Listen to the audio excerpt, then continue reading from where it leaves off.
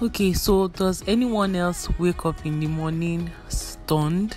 Like, you are wondering why exactly have I woken up this morning? What is my purpose and life existence for today? Like, what exactly am I supposed to do? Even though you have everything planned out, you have classes, you have work to do, but you are just still stunned. So, whenever I wake up, the first thing I need to do is write down my manifestations, whatever it is that I want, whatever it is that I have to pray about, and anything that has to do with you know praying and manifesting whatever you want. So your manifestation changes i think um, once every month. So this is for the month of april and i can assure you losing weight is not one of them. It's not even my priority. So after i write them down i read them out loud into my ears. I read them like i'm memorizing for exams.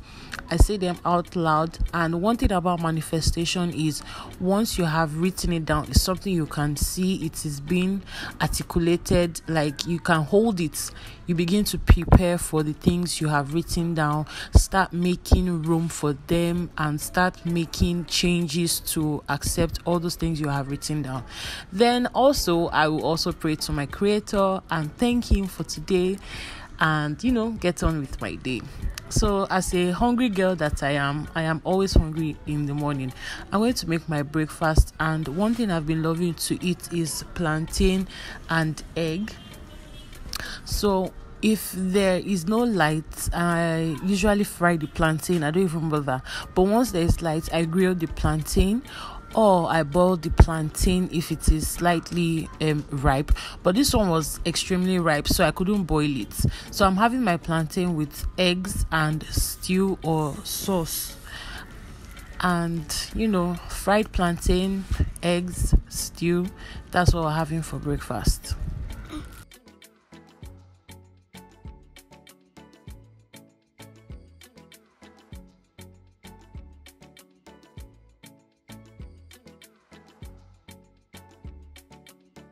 So, because I am on a low carb diet, I'm watchful of the kind of oil I take, the kind of um, you know fat I take. It has to be measured. It has to be articulate or what's it called?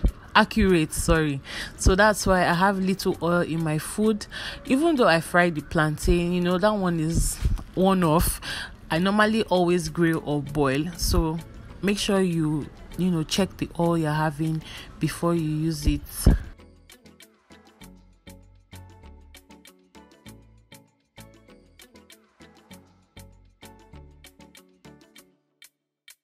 I also prepare hot water for my coffee. I almost can't do without coffee these days. So I just pour in my hot water into the flask and there's already coffee in it and this is what I drink throughout the day.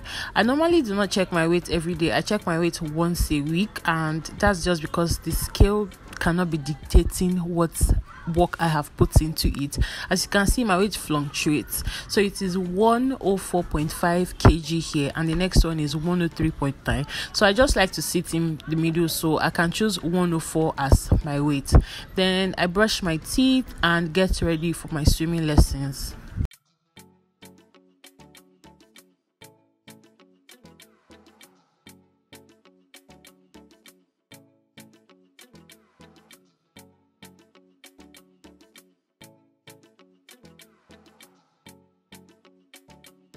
I'm not a person that would have ever thought I would have, you know, found interest in swimming classes, but you know, I don't know how to swim. The only way I can learn how to swim is go out there.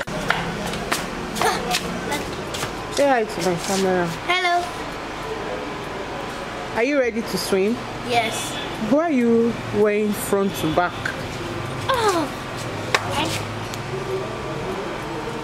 Oh God.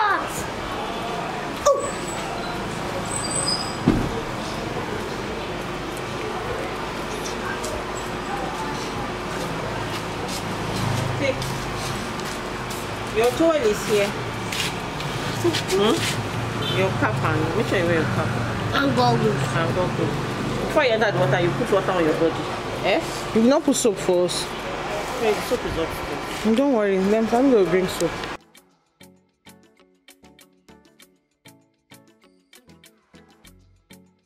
So as I was saying, we have to go out there and learn how to swim because it's actually a life skill, not just a adex added not just an added skill it's actually a life skill so driving swimming they are life skills so i'm going to the pool after i pick up emc and i met up with my other sister and we head over to the pool for our swimming classes we're all learning how to swim and they don't know how lucky they are to be learning at such a young age. I wish it was me.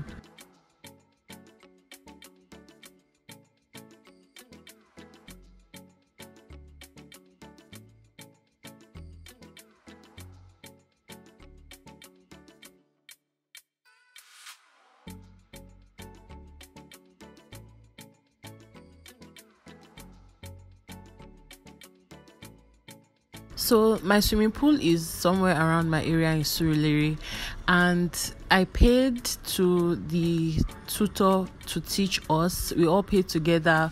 We are four learning. My sister, myself, and two children. That's Yemisi and Oba.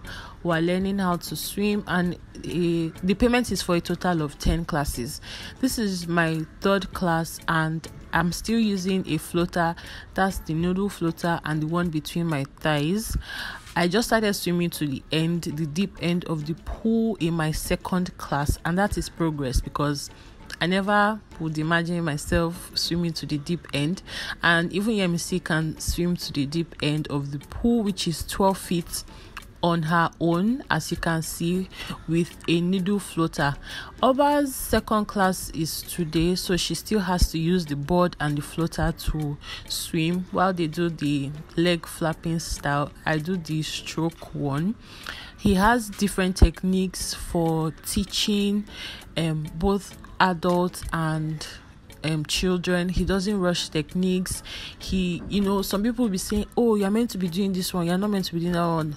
Mr jude will tell them they haven't learned it so we go bit by bit. He's he's not rushing us. I mean i still have seven classes left so i have all the time to perfect my swimming. I posted this on instagram. People were saying oh you're just doing stroke. You're not flapping your leg when it's time to start flapping my leg, I believe Mr. Jude would teach me. So next time I swam, I swam with um, just the floater between my thighs and um doing away with the noodle floater. So the next one, hopefully, I'm going to swim without a floater to the 12 feet end of the pool. Hopefully, I mean in my fifth or sixth class.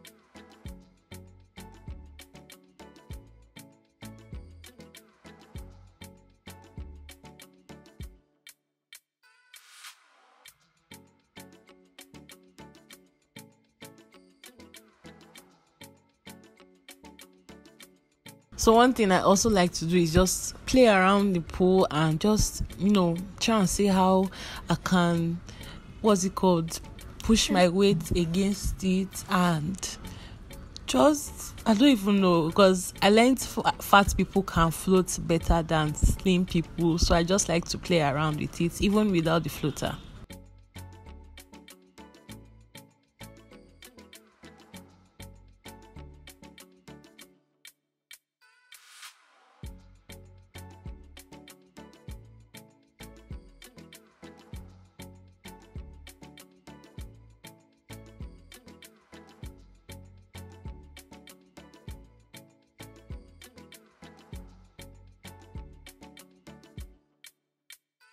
So once i get back home i take a shower and you know start preparing for the next part of my day.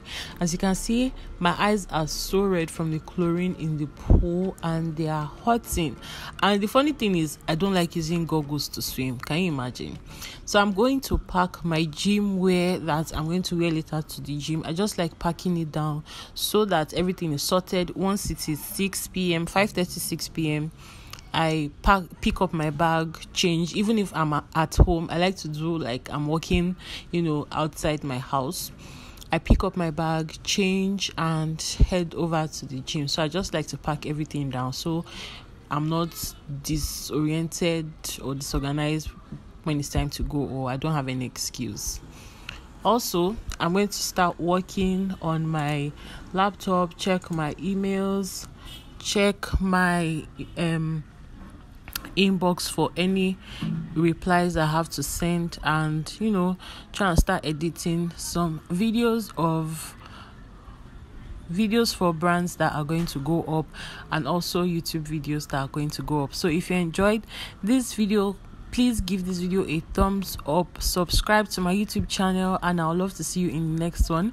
Let me know your comments in the comment section down below of other videos you'd like me to film. See you guys in my next one. Bye